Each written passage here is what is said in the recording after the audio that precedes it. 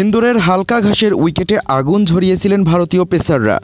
মোহাম্মদ সামি, উমেশ যাদব আর ঈশান্ত শর্মা। এই তিন পেসারকে সামলাতেই গলদঘর্ম হতে হয়েছিল বাংলাদেশি ব্যাটসম্যানদের।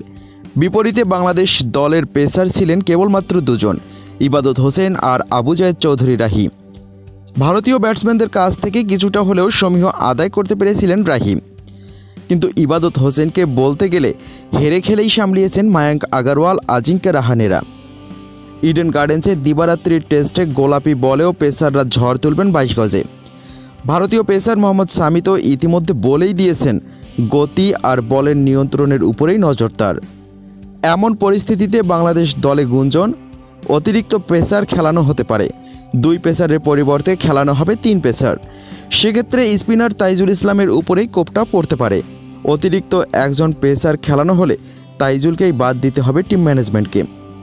শুধু তাইজুলই নয়, বাদ পড়ার গুঞ্জন রয়েছে পেসার ইবাদত হোসেইনেরও।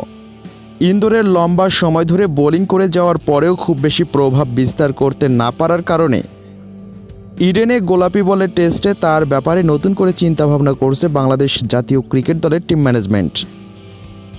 ভারতীয় মিডিয়ার খবর, ইডেনের বাইশ গজে রয়েছে ঘাসের আভা। তবে দিন কয়েক আগেও আউটফিল্ডের সঙ্গে আলাদা করা যাচ্ছিল না উইকেটকে। গতকাল বুধবার সকালে উইকেট অতটা সবুজ দেখাচ্ছিল না। ভারতীয় ক্রিকেট মহলে একটা ভাবনা ঘুরে বেড়াচ্ছে যে, দ্রুত খেলা শেষ হয়ে যাক তা একেবারেই চাইছে না ভারতীয় ক্রিকেট বোর্ড বিসিসিআই এবং পশ্চিমবঙ্গের সিএবি। এ কারণে ঘাস যতটা সম্ভব সেটে ফেলার চেষ্টা করা হচ্ছে। গোলাপি টি শার্ট পরায় ইডেনের কিউরেটর সুজন মুখোপাধ্যায় কলকাতার আনন্দবাজার পত্রিকাকে বলেন, রোলার চলছে, রোদের তাপও যথেষ্ট। এই দুই কারণেই উইকেটের ঘাসকে বাদামি দেখাচ্ছে। এবার খেলা কতদিন চলবে তা নির্ভর করবে ক্রিকেটারদের উপরেই। উইকেটের যে অবস্থা শোনা যাচ্ছে, তাতে বাঁহাতি পেসার মুস্তাফিজুর রহমান এবং ডানহাতি আলামিন হোসেন এই দুই পেসারের মধ্যে একজনের খেলার সম্ভাবনা বেশি।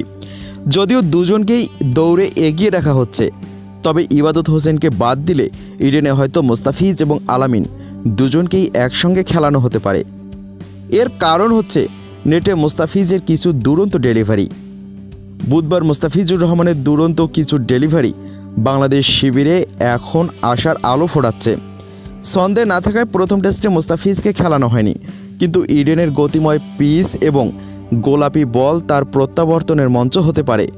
গঙ্গার দিক থেকে আসা হাওয়া এবং ঘাসে ভরা উইকেটের সাহায্য যদি এই ম্যাচেও তিনি তুলতে না পারেন, তাহলে বাংলাদেশ ক্রিকেট দলে তার ভবিষ্যৎ পুরোপুরি অনিশ্চিত হয়ে যাবে। মুস্তাফিজের সঙ্গেই নেটে ভয়ঙ্কর হতে দেখা গেছে পেসার আলামিন হোসেনকেও।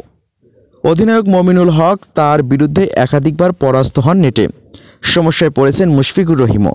বাংলাদেশ দলের একটি সূত্র আনন্দবাজার পত্রিকাকে জানিয়েছে মুস্তাফিজের সঙ্গে আলামিনকেও খেলানো হতে পারে ইডেনে। তৃতীয় পেসার হয়তো হবেন আবু জয়েদ চৌধুরী রাহি।